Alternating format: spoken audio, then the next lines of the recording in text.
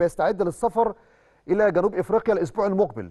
بعد مباراة البنك الأهلي يوم الأحد هتبقى في خلية نحل وخلية عمل قبل السفر إلى جوهانسبرج عندنا مباراة مع أورلاندو بايرتس يوم السبت بعد القادم الساعة 3 العصر بتوقيت القاهرة في جوهانسبرج طب الأهلي هيسافر إمتى؟ الأهلي هيسافر الأربع الجاي.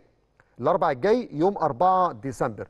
وزي ما اعلنا لحضراتكم قبل كده ان الكابتن سامي قمصان هيسبق البعثه هو والكابتن سمير عدلي عشان ترتيبات الإقامة والاتفاق على ملعب التدريب والاهلي ليه اختيار لمعين كده في ملعب التدريب عشان يستعد لهذا اللقاء الصعب جدا. هو لقاء على زعامة المجموعة.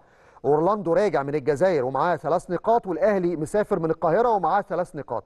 فكل فريق هيلتقي مع الآخر يوم 7 ديسمبر بصافره موريتانية لعبد العزيز بو عشان يقتنص الصدارة وتبقى صدارة مهمة جدا قبل ما ترجع لأن عندك مباراة مع شباب بلوزداد يوم 22 ديسمبر بإذن الله في استاد القاهرة عقب العودة من قطر. فنتمنى التوفيق يا رب للنادي الأهلي في هذه الرحلة الهامة جدا. كريم فؤاد ومحمد هاني النهارده بإذن الله هيسافروا إلى النمسا أو يعتبروا سافروا خلاص النهارده صباحا إلى النمسا من أجل العرض على الخبير النمساوي لمعرفة تطورات حاله الثنائي.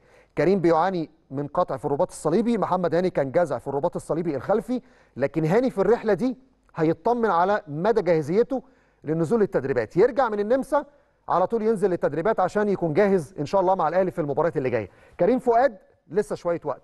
طبعا عملية رباط صليبي بتاخد شوية وقت وأشهر على ما يقدر يرجع لكن هاني إن شاء الله خلص البرنامج التأهيلي ونقدر من خلال هذه الزيارة نطمئن على جاهزيته ويرجع إن شاء الله يكون جاهز لخوض التدريبات ويكون جاهز مع الفريق في الفترة اللي جاية.